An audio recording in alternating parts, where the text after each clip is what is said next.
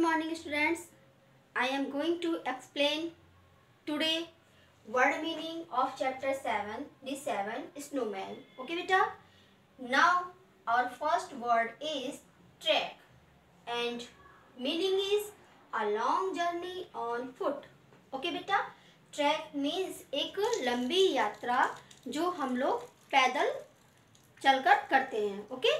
यानी कि a long journey on foot एक लंबी यात्रा जो पैदल हम लोग चलते, चलकर पूरी करते हैं okay next basement basement meaning is a room below the ground okay बेटा, एक ऐसा रूम जो ग्राउंड के नीचे हो। मैंने आपको स्टोरी में बताया भी था okay next word is rescued okay and meaning is बचाया okay next word is semi circle semi circle means half circle okay बेटा, आपने फुल सर्कल शेप देखा होगा ना? आपने जो फुल जो सर्किल होता है आपका, इस तरह से ओके तो ये क्या हो गया आपका? ये सर्कल हो गया। अब इसका हमने ऐसे कर दिया हाफ़ तो ये हमारा हो गया सेमी सर्कल। ओके बेटा? Half circle. Next pebbles pebbles meaning is small smooth stones okay pebbles means होता है स्मॉल छोटे छोटे जो होते हैं स्मूथ चिकने स्टोन्स स्टोन्स मीन्स पत्थर, जो छोटे होते हैं और चिकने होते हैं। Okay next word is upturn upturn meaning is upside down okay बेटा, उल्टा हुआ। Okay once again trek meaning a long journey on foot next basement meaning is a room below the ground next word is rescued meaning is saved next word is semi circle and meaning is a half circle. Next word is pebbles and meaning is small smooth stones.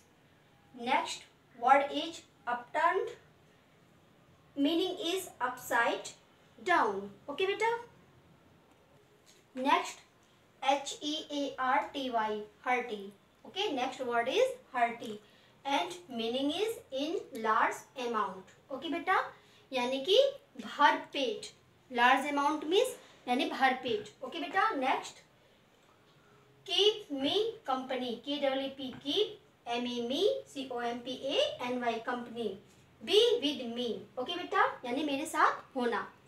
Next word is cables C A B L E S cables okay now meaning is very strong thick ropes okay very strong बहुत ही strong यानी मज़बूत thick miss मोटी ropes means रस्सियाँ। Okay बेटा? Next word is tuck take a nap and meaning is sleep for a short time during the day okay बेटा? Take a nap means होता है झपकी लेना। ओके? तो sleep for a short time during the day यानी कि दिन के दौरान जो है, थोड़ी सी नींद लेना। ठीक है? उसी को हम कहते हैं take a nap once again hearty word is hearty meaning is in large amount okay ये लार्ज अमाउंट किसके लिए यूज़ हुआ है फ़ूड के लिए भोजन के लिए यूज़ हुआ ओके यानी भर पेट keep me company What is keep me company?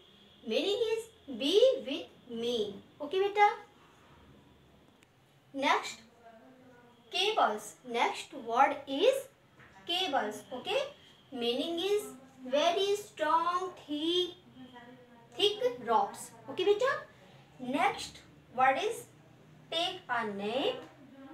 Meaning is sleep for a short time during the day okay बेटा ये टी है ओके नाउ बेटा I hope you that you understood it very well okay बेटा thanks and have a nice day